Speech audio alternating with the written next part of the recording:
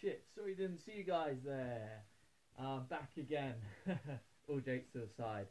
Um, so today we're going to talk about um, why we shouldn't be using too many machines. Um, it's very easy in this day and age to be distracted by all these fancy machines you get in the gyms um, that do all kinds of like weird movements for like a bicep curl um, and just overcomplicate stuff way too much. And they all look like spaceship machines. But yeah, back on what we're talking about. Um, the problem with machines is is they're designed for the person that actually made them, and we all have slightly different bone structure, and our biomechanics are all slightly different. So what um, so what range of motion that will work for the person that built it might be slightly, ever so slightly different to, um, to you. He might have slightly longer arms. He might have a shorter torso. He might have a longer torso. Um, so that's why one of the major reasons why. Also, um, the problem with machines is they over over make things look over complicated. Um, a bicep curl is simple, basic. The old school guys, I love my golden era bodybuilders. It's from there A to B. Okay, guys, it's you don't need to overcomplicate shit. Um, the, these machines didn't exist back in the days of the Arnolds, the Franco Columbus, the Tom Platzes, all bodybuilding legends.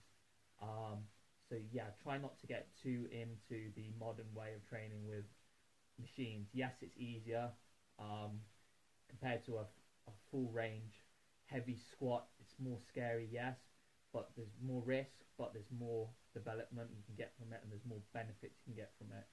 Um, nothing for building legs nothing beats a proper full range heavy ass squat, arse to grass squat. Um, you can't beat it. Um, all these fancy machines, yeah, they look good, but you're not going to be working the muscle as it is. It's a good way to finish off the muscle. So if you're fatigued and doing all these squats, you're more likely to get injured because you're fatigued, so you're not concentrating as much. So a good way to isolate the quads would be to do leg extensions at the end. So yes, I agree in that extent. It's good because you can just isolate it without getting injured after you've done all your heavy squats and stuff, um, and to bring out detailing. Um, so yeah, that's the other thing. Um, and if you've got injuries as well, um, that's the only other time you should really be using it.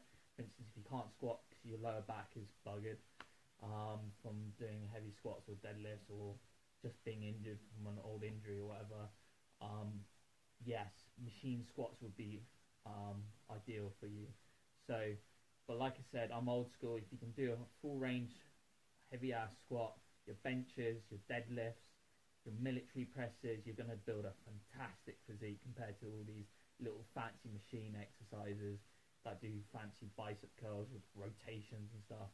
Um, nothing beats a dumbbell or a barbell. So if you have the option and you want to build a decent, real physique, um, quality with quality muscle, um, free weights is the way to go. So, like I said, try not to get too stuck up um, with machines in this day and age. Okay, so peace out.